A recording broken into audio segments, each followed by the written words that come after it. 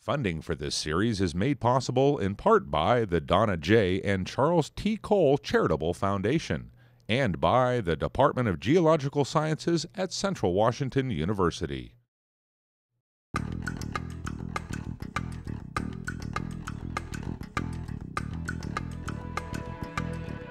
Hi, I'm Nick, and I love Washington's geology. I've been teaching it for 20 years now.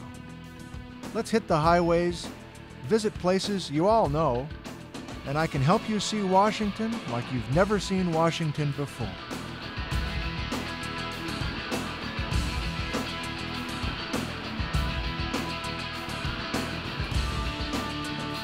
Welcome to Central Rocks, Roadside Geology. Just south of Ellensburg, Washington, the Yakima River Canyon is a wonderful place to study and enjoy the great outdoors. Ellensburg's main street flows directly south to Canyon Road. The old two lane highway winds its way for miles through the canyon, finally emerging at the city of Yakima.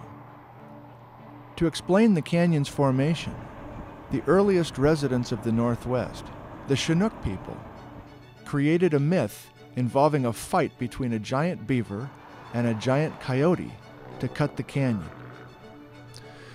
For thousands of years, local Native Americans made careful observations of the Yakima River and the ridges of central Washington. As the first geologists of the area, the Chinook people had an explanation for these curious canyon cuttings across the landscape. In the early days of the world, Wishpoosh, the giant beaver, lived on Lake Cle Elum. Wishpoosh always killed all of the animals that wanted to fish there by drowning them in the lake. Coyote, the wisest and most cunning of the animals, made up his mind to kill Wishpoosh. One day, Coyote speared Wishpoosh with all of his might, and the giant beaver plunged to the bottom of Lake Cle Elum, dragging Coyote with him. Coyote fought so desperately with Wishpoosh that the banks of the lake were torn out, water surged through the break, and they plunged through the mountains. The water rushed madly into the broad Kittitas Valley and formed another lake. The struggle between Coyote and Wishpoosh continued, and they destroyed the banks of that lake and they fought as the waters surged madly into the lower Yakima Basin and a lake was formed at Toppenish. This continued until the fighting animals made it all the way to the Pacific Ocean. Over the past century, classically trained field geologists have also pondered the canyon's formation. They also have noticed that the canyon is not straight and that meandering canyon cuts directly across a series of ridges. Today we tackle the question who formed first, the ridges or the Yakima River? To start, we need to learn the basics of rivers and the rocks that they typically drop. Rivers deposit rocks that are rounded, sorted by size, and varied in rock type. But things get interesting when we start finding river rocks in places that rivers are not.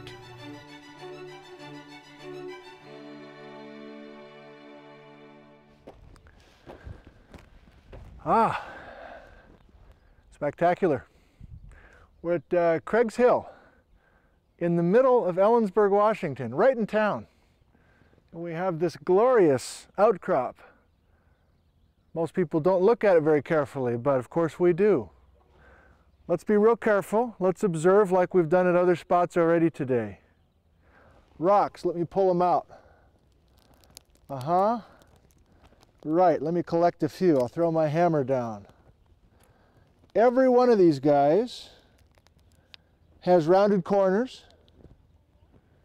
Most of these guys, roughly the same size. And if we look carefully, we've got an incredible variety. Now you're a quick student, you know what this means already, don't you? Rounded rocks, about the same size, incredible variety. Say it with me. River deposit, river deposition, but where's the river? we're in the middle of town. The Yakima River that we know and love is at least two miles to the west of us. In other words, this spot is two miles east of the present river. Great evidence that the Yakima River has not always been in its current spot. In our business about channels migrating laterally and rivers changing their path, this is the evidence we need. We've even got something better than that in Craig's Hill. Up above us, out of sight, is a volcanic ash layer above us, a volcanic ash layer that's in this hill. Five million years old. So if this lay, if these rocks are below that five million year old volcanic rock layer, then we know that these rocks were deposited older than five million years ago when the area was flat. Okay, so let's think about this for a sec. These two rocks have been sitting next to each other for at least five million years until right now. We've got sun hitting that spot for the first time in at least five million years. That's power. Deposits, like those at Craig's Hill, help us understand that rivers don't always stay in place. If the terrain is flat, and if there is enough geologic time, the channel of a river system will naturally begin shifting laterally. Why is this? What causes the river to pick up and move next door? A quick trip to a research lab helps us answer that question. Stream table modeling shows that as rivers age, they go through different stages. At birth, rivers are youthful and straight, but as they age, their meanders become more exaggerated. Why is this? A close look at one curve tells us that fast water on the outside of the curve erodes the land, while on the inside of the curve, slow moving water deposits sediment. The net result? A continual shifting of the river's channels. Well, now we're on to something. Different stages of river development tells us about the region where the river is flowing. If the land is flat, the river is allowed to push through all five stages, often going through those stages again and again. Craig's Hill and other deposits like it in the Kittitas Valley build a strong case that the Yakima River went through many river stages when central Washington was flat. So here we are on Manastash Ridge, just south of Ellensburg, Washington. And down below us by hundreds of feet is the Yakima River itself. The river has cut a beautiful canyon. By now you've seen many images of the canyon itself, and you know the basic geometry. The river is not straight. Therefore, the canyon is not straight. And in fact, this meandering river canyon cuts directly across Manastash Ridge and a series of other ridges through central Washington. Now that we know about the history of these rivers and how they develop stages, I hope it's obvious to you by now that the river's course had to be set in this meandering pattern before the ridges started to grow.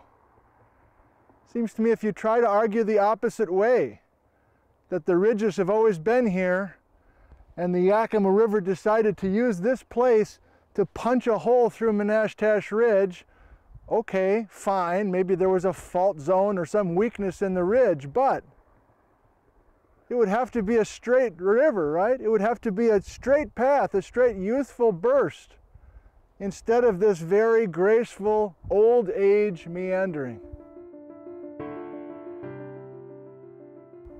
Talk to any geologist you want. The river came first, the ridges came second.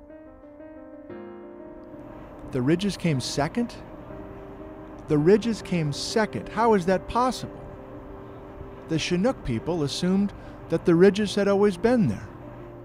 But understanding of our globe's plate tectonics, made clear just 50 years ago, has now enlightened us.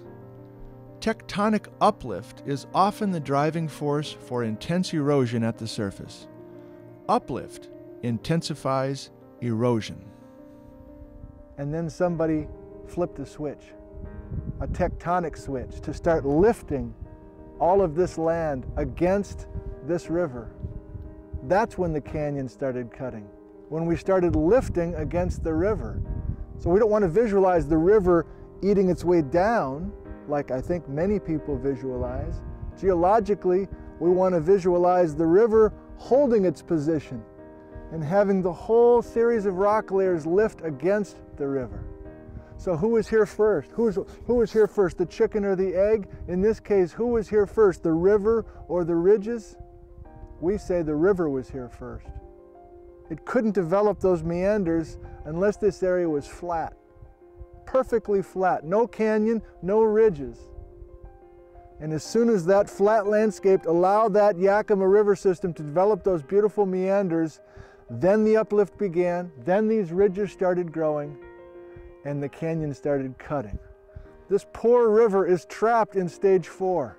No chance to move on to stage five because all of its energy now is in a vertical sense, not a horizontal sense. Everybody enjoys this canyon. We enjoy it too, geologically.